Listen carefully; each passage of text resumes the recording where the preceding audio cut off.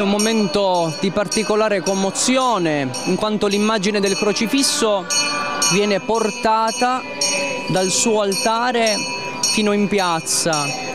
E il momento più commovente è dettato dal fatto che tutte le persone presenti in chiesa vogliono toccare il crocifisso, quasi ad implorare da lui la grazia.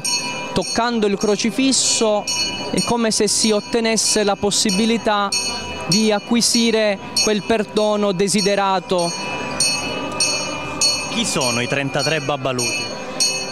Sono dei penitenti, delle persone che per voto si accostano nel nascondimento al Cristo crocifisso per implorare anch'essi o il perdono per delle colpe passate o la grazia della guarigione spirituale o corporale per loro o per delle persone loro care.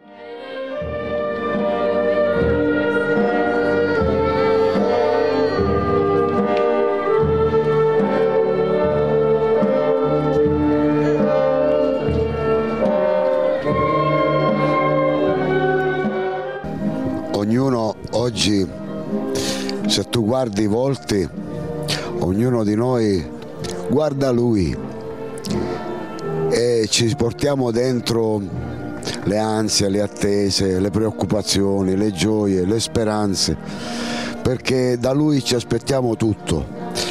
E giacché l'uomo è mistero a se stesso, allora oggi tu senti soltanto alcune note musicali ci sono tanti telefonini, compresi il mio, le macchine fotografiche, però perché ognuno vuole immortalare qualcosa di, di particolare.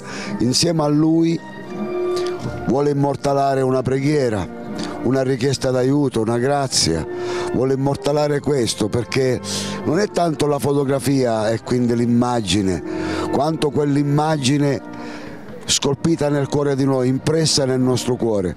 Questo è il significato della festa e per, tra non molto ci saranno pure i babbaluti, gli incappucciati, che sono 33 penitenti, questi nostri fratelli e amici, uomini e donne che sembrano essere senza volto, ma in verità sono il nostro volto.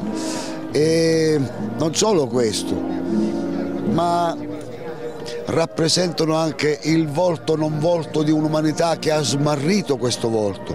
Riusciremo a trovarlo questo volto solo guardando lui.